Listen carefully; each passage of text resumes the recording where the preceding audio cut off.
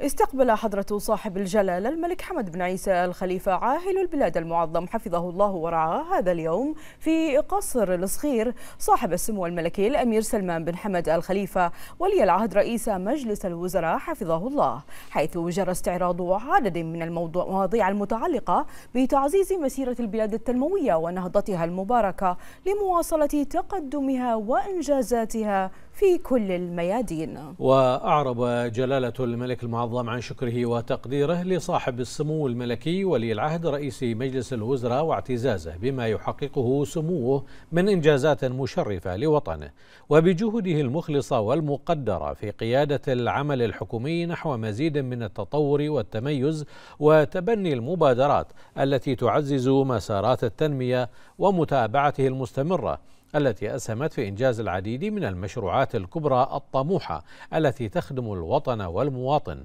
وتسهم في تعزيز مكانة المملكة وتقدمها في مؤشرات التنمية.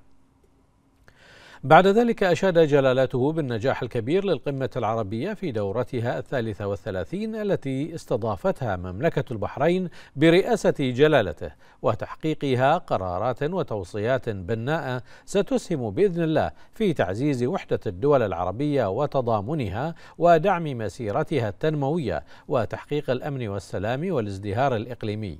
معربا أيده الله ورعاه عن تقديره لمشاركة إخوانه أصحاب الجلالة والفخامة والسمو قادة الدول العربية ومساهمتهم القيمة في إنجاح هذه القمة المباركة لتحقيق أهدافها المرجوة لخير أمتنا العربية وشعوبها.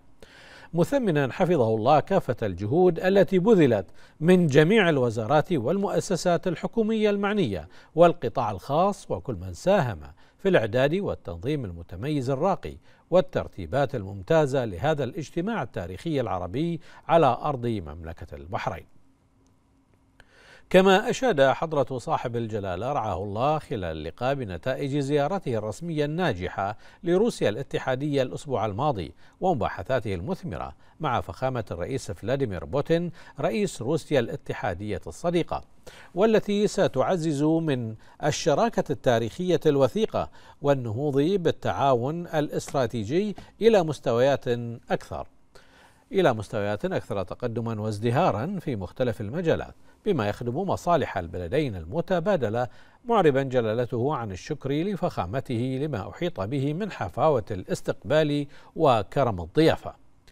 وأعرب جلالة الملك المعظم عن تطلعه في الوقت ذاته. للقائه مع فخامة الرئيس شي جين بينغ رئيس جمهورية الصين الشعبية الصديقة في زيارته الرسمية المقبلة للصين والتي ستشكل انطلاقة مهمة وجديدة في علاقات البلدين المتنامية والارتقاء بها إلى آفاق أرحب من التعاون والعمل المشترك لصالح شعبيهما الصديقين.